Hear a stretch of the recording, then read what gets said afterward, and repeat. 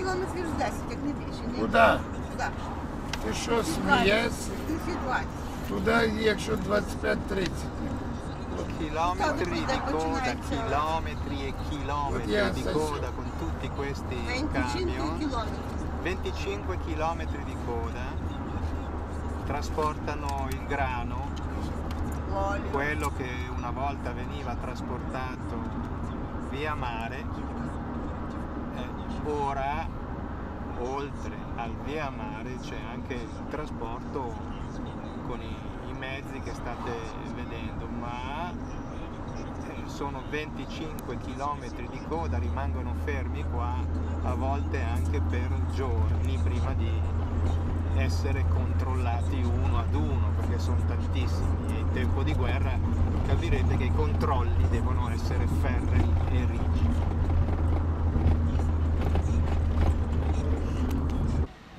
E adesso siamo fermi anche noi in dogana e dovremo aspettare tantissimo perché è tutto molto lento.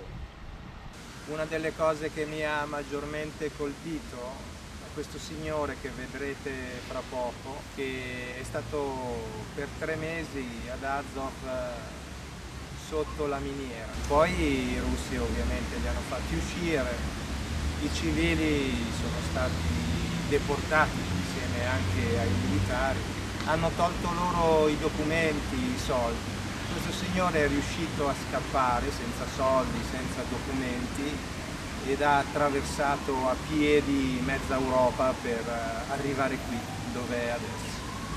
Stava, Bambini, stava Жигари. so- sotto questo Sotto Azov, nella sì. miniera. E dopo Russia hanno portato in Russia e lui è scappato. È venuto. Ah. И оттуда вот так вот через Европу, через это Три месяца оттуда вы... Тремези. Тремези. Один. Один.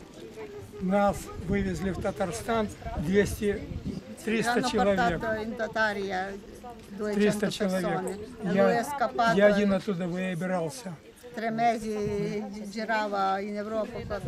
Денег не было, документов не было, но добрые люди, мало их было. Помогли через Прибалтику, через Польшу. Вот это я так добирался один сюда, в Украину. Там все, все сгорело, Ой, все разрушилось, все, все там, все бум-бум-бум-бум. Людей убило, а я их. In mezzo a questa apparente normalità mi ha colpito anche sentire alcune storie come per esempio quelle di due giovani militari.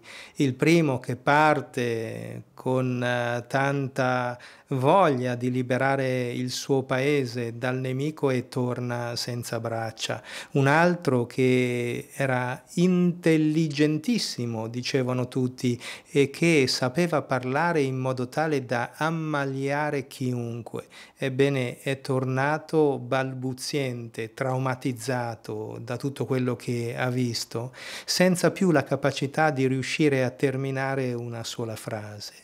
Ho avuto l'opportunità di incontrare un giovane militare tornato dal fronte, ovviamente non ho potuto riprenderlo e ha mostrato con un certo orgoglio un video in cui catturava un soldato russo.